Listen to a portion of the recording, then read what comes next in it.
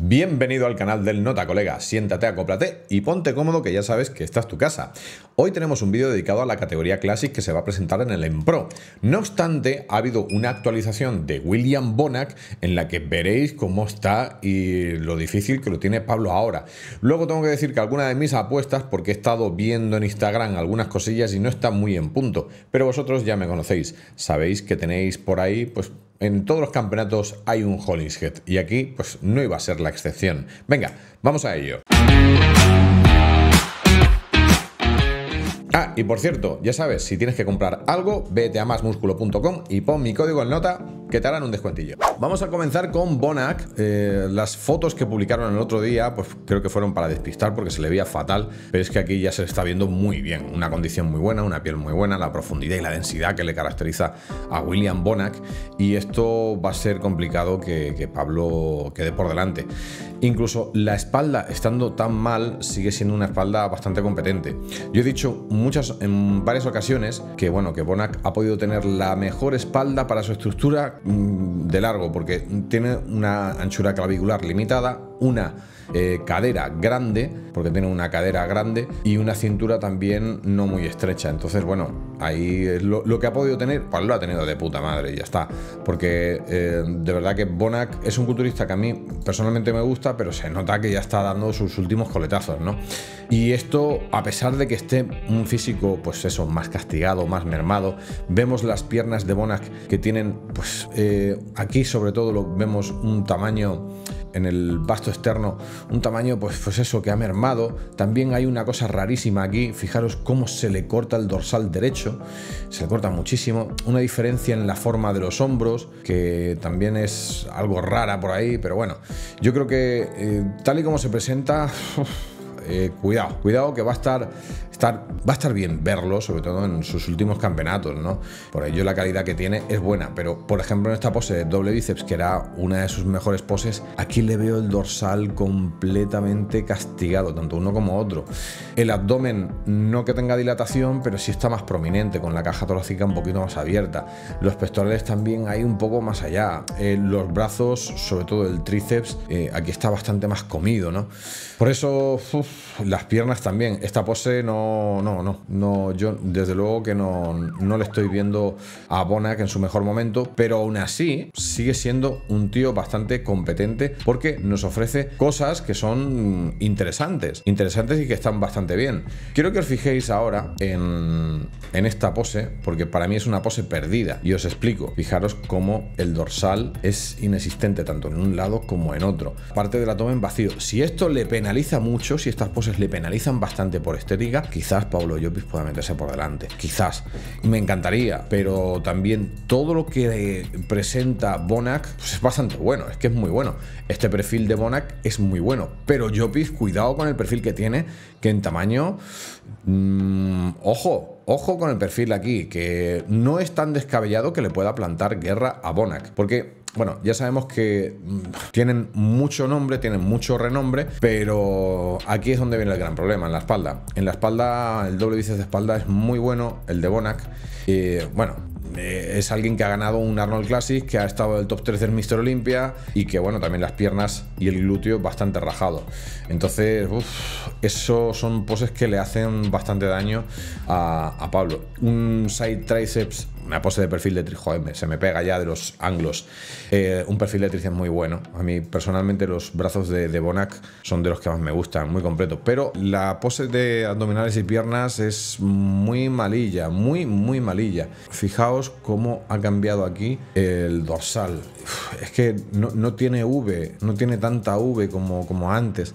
Antes tenía mucha más V, pero es que ahora la tiene bastante menos pronunciada y la pierna también con menos tamaño. Creo que de cerca se ve mejor de lo que le vamos a ver en el escenario, creo. Y como insisto, mmm, ojalá nuestro Pablo le dé, le dé guerra. El más muscular muy bueno, pero ya veremos. Bueno, pasamos a Javi Senas. Javi Senas es otro español con una línea muy bonita que se presenta también al Pro. Aquí le falta todavía una, una vueltita y una buena puesta a punto, a ver qué, ¿Qué tal? ¿Qué, cómo, ¿Cómo nos sorprende Javi Senas en el Empro?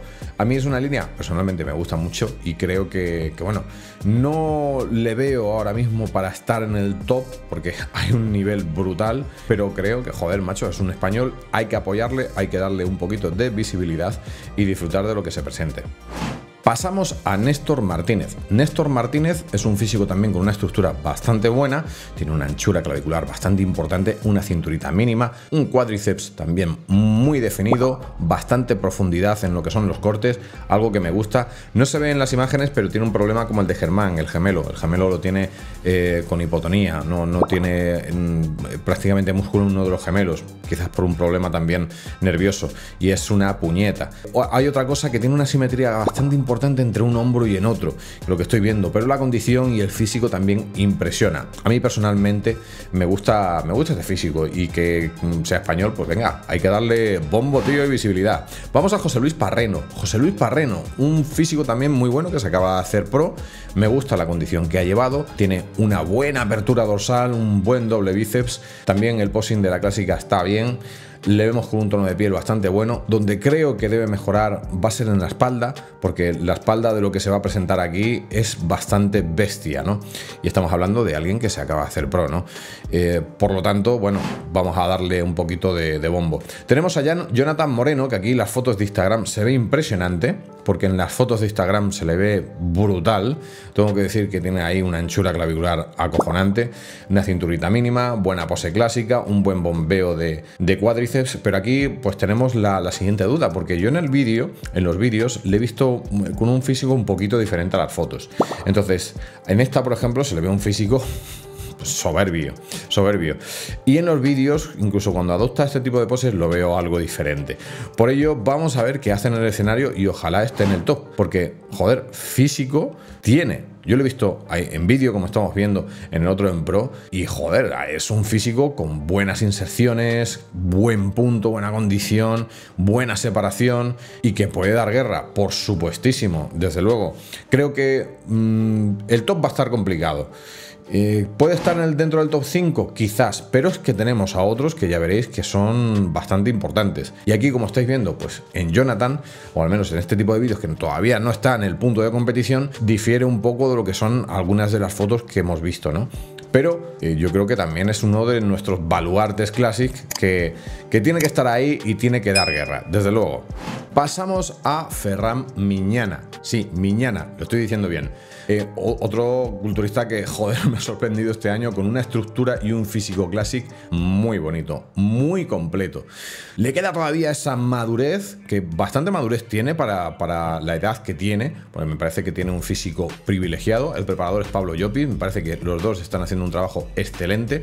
Veo al futuro del Classic español en Ferran, ya lo sabe. Eh, en este campeonato, a él sí le veo en el top, puedo decir que tiene un, un físico muy bueno proporciones, densidad, estética, sobre todo la estética de Classic de Ferran es muy bonita, es muy buena. Cosas a mejorar, el tema del posing. El posing todavía, bueno, él viene de Men's Physique y no ha dado todavía mucha caña al tema de, del Classic, pero yo estoy seguro que, bueno, que es alguien que tiene facilidad tanto para ganar músculo, para mejorar en el posing. Pasamos a Germán. Germán, por supuestísimo que lo pongo en el top. Tiene algunos handicaps, lo hemos dicho muchas veces con el tema del gemelo, que todo el mundo que se suba al escenario, y no es por falta de decoro, como dicen algunos, pues eh, esto es lo que se ve y si hay fallos se tienen que comentar. A mí los dos fallos o las dos cosas a mejorar siempre que lo he dicho de Germán, al igual que me parece un físico espectacular y una estructura de las mejores y luego un poquito mejor el posing que lo está mejorando, que lo está mejorando, que veo una evolución porque se va preocupando mucho de ese tema de posing. Y él junto a, a su preparador están haciendo muy buen trabajo. De hecho, os comento que en el Toronto Pro mejoró esta versión que estamos viendo aquí. A mí esta versión me gustaba, pero la de Toronto todavía me gustó bastante más, porque le vi con una piel todavía más fina, le vi más lleno y con unas inserciones todavía más profundas. Aquí fue donde me sorprendió, porque veis los isquios y el glúteo, ahí estaba a un nivel todavía superior al que habíamos visto. Y me parece que si se presenta en esta versión, vamos, top 3, top 3 va a estar. Creo que sí. Y yo personalmente todavía lo veo un pelín por encima de Ferran. Lo que pasa es que la estética de Ferran pues se adopta en las formas musculares, en lo que es la estructura, se adopta un poquito más a lo que están buscando ahora de Classic. A mí el físico de Germán, como os digo, me encanta, pero el otro se acerca un poquito más. Aquí, este tío me flipa. Este se llama Zivko, o como se diga, Petkov. Y este ganó una doble Procar y no sé qué. Bueno, mm, un puntazo que lleva el tío acojonante. Me gusta muchísimo la forma, la estética. De tamaño no tiene mucho tamaño, pero es uno de esos físicos que cuando están en el escenario te sorprende de cómo se ve, se le ve mucho más grande de lo que parece. Y creo que este, este también puede pelear por el top. Por eso eh, hay en algunos españoles que sí puedo poner más claros, pero frente a este también tengo dudas. Por ejemplo, yo creo que a Jonathan le puede comparar mm, bastante con este, porque va a estar, digamos, yo creo que casi en el mismo nivel. A pesar de que Jonathan le veo con mayor envergadura, más alto y más anchura clavicular. Pero este hombre tiene una condición terrible y una piel como estáis viendo, que es que la piel va fina como la cebolla. Me gusta y creo que hará muy buen papel en este Empro. Culturista peligroso para entrar en el top. Pasamos a Luca Guerrer. Luca Guerrer ganó en el German Pro y le ganó a Ferran y ganó también a Germán. Un culturista que gusta mucho y le ponen como competencia directa de Josema. Yo os digo que para mí Josema tiene, mm, es superior en tamaño, en inserciones. Él, por ejemplo, tiene una estética clásica, tiene una estructura, pero que eh, Josema no se aleja mucho de eso. O sea, que es que no, eh, quizás la pierna, el cuádriceps lo tiene un poquito más bombeado, tiene una V curiosa, pero yo le veo muchísima más madurez muscular, sobre todo en la parte anterior a Josema, que no a Luca. Aunque Luca, mm, otra vez, top 5 seguro. Vamos, de eso no cabe ninguna duda. Aquí lo vemos al favorito de la noche, a Josema. Josema, ya lo estáis viendo, si es que la calidad muscular que presentó como Classic, pues está fuera de toda duda. Incluso en el posing, no sé quién tuvo que ver algo por ahí, pero, pero mejoró bastante. ya conocéis.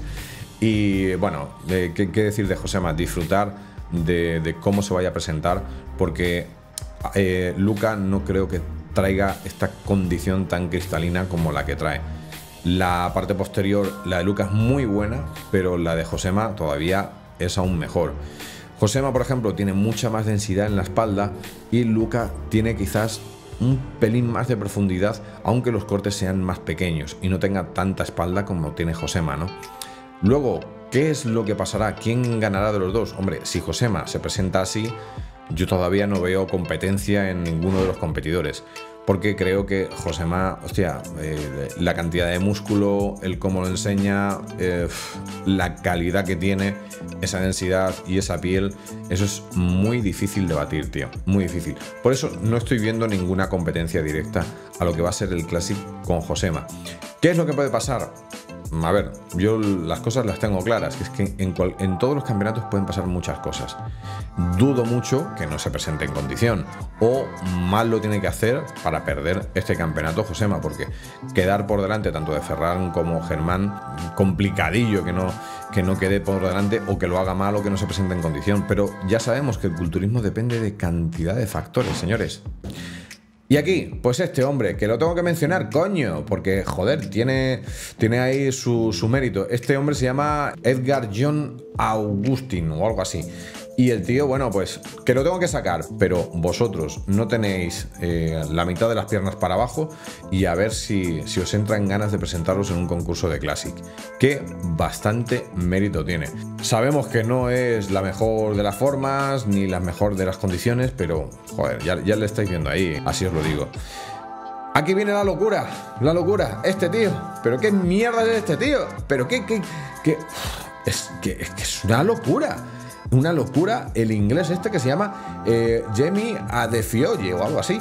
Es brutal, brutal cómo se le ve el ratio de cintura eh, clavícula que tiene. Eso no, no, Vamos, desde Brian Buchanan eh, yo, no he visto cosa tan bestia. O me parece. Eso sí, el posing. así, pero de jovencito, pero ¿estáis viendo la cintura que tiene? Pero, pero que es que es irreal. Yo os digo una cosa, a ver, los ratios, la leche, el bombeo de piernas, la forma, muy bonita. Pero os comento, esto para mí es exagerado ya. Es demasiado exagerado esta estructura. No me gusta. Os lo tengo que decir porque la encuentro demasiado exagerada. Tiene tan poca cintura, tan mínima cintura, que, que, no. Que sí, que puede ser estética, pero ya me parece demasiado, me parece en exceso. Y no mola. A mí al menos no me mola tanto. Eh, es impresionante de ver, pero digo yo, joder, tío, es que ya es, parece como irreal. Además os digo, fijaros en estas cosillas de por aquí, porque le han hecho un destrozo con el tema de la operación de Gine. La espalda que tiene es buenísima, buenísima. Parece ahí la de la posa como un Memphis. Y joder, tío, tiene, tiene muy buenas cualidades. No creo que entre dentro del top 5 porque le quedan sobre todo calidad muscular, madurez, volumen. Pero brutal el dorsal que tiene, es buenísimo, tío, buenísimo. La pierna también. Y si necesitas algo de suplementación deportiva, vete a másmusculo.com, pon mi código, el nota, que te harán un descuento. A mí me darán una comisión y me ayudarás, tío, a ganarme la vida. No tengo tropecientos mil seguidores. No tengo un físico de escándalo. No soy un tipo adinerado. No vivo en Estados Unidos. Tampoco soy un Adonis. Solo soy el nota. Y sé muy bien de lo que hablo.